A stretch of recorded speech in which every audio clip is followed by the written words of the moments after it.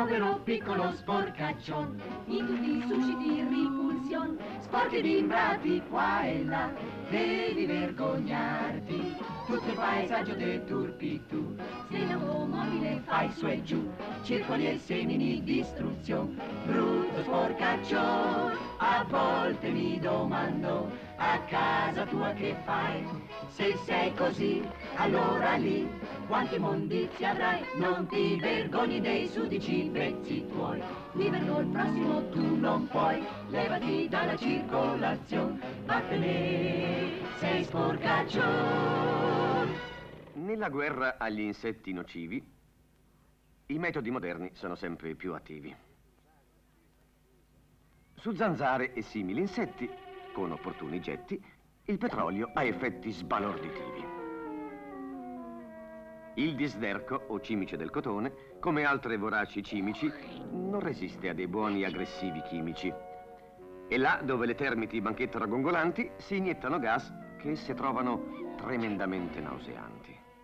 Tuttavia, non abbiamo motivo di presunzione. Non abbiamo ancora inventato una medicina o una velenosa pozione per liberare il mondo da un essere nauseabondo, comunemente noto col nome di sporcaccione.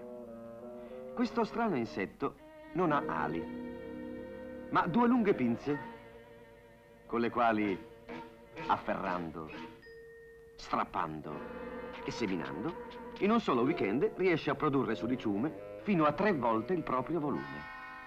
La scienza ha scoperto che per loro è normale riposare nel periodo invernale. Se ne stanno calmi e buoni in tane di legno o di mattoni. Il freddo li rende dormiglioni.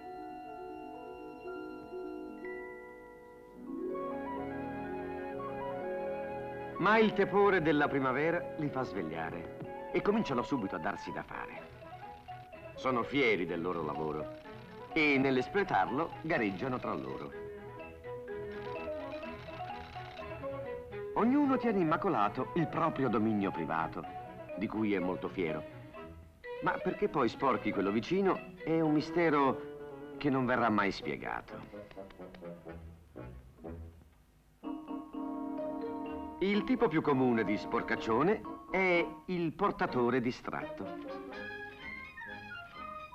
adopera lo sgancio o lo scoppio e lo sgancio. Ha meno cervello di un matto. Quando è pieno di germi, li semina sul suo cammino. E se è fumatore, si fa notare fino all'ultimo cerino.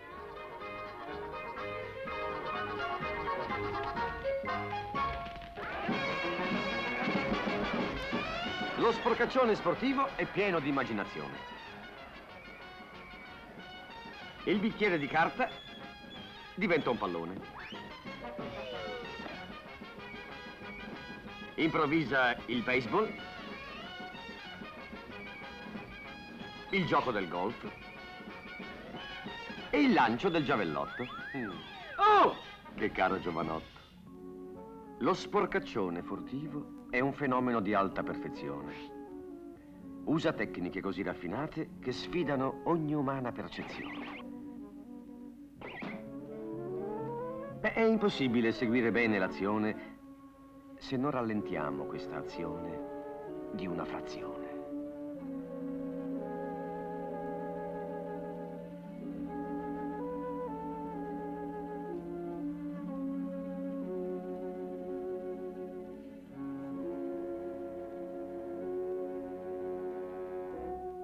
Il piccolo è un'innocua, adorabile creatura, ma appena il suo istinto innato si è sviluppato, egli mostra la sua pericolosa natura. Senza uno specifico addestramento, raggiunge risultati strabilianti, dandosi da fare con accanimento per essere riprovevole come i grandi.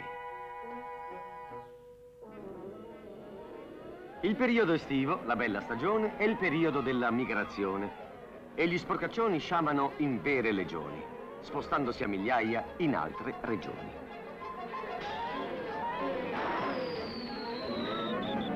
Ah, è spaventoso davvero capitare sul loro sentiero.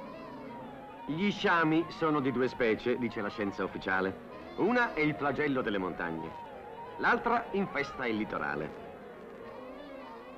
Lo sporcaccione marino è attratto dalla candida sabbia e dallo splendore del mare.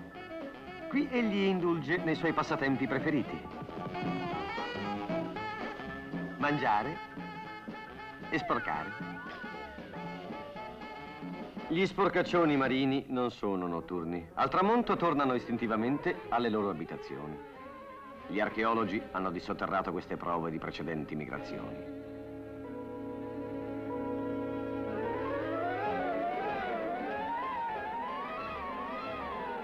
Lo sporcaccione montano è attratto dalle foreste dove più rigogliosa è la flora. Qui stabilisce la sua temporanea dimora. Dall'aria frizzante egli acquista vigore. Il suo appetito è stuzzicato. Mangia di tutto e ogni cosa da un contenitore che può essere facilmente gettato. Sporcaccion, sporcaccion, sporcaccion. Povero piccolo sporcaccione. In tutti i sushi di repulsione. Sporchi di imbrati qua e là. Devi vergognarti. Tutto il paesaggio dei turpitu. Sei un automobile fa il sueño. Circoli e semini distruzione. Brutto sporcaccion. A volte mi domando, a casa tua che fai? Se sei così, allora lì, quanti mondizi avrai? Non vergogni dei sudici mezzi tuoi?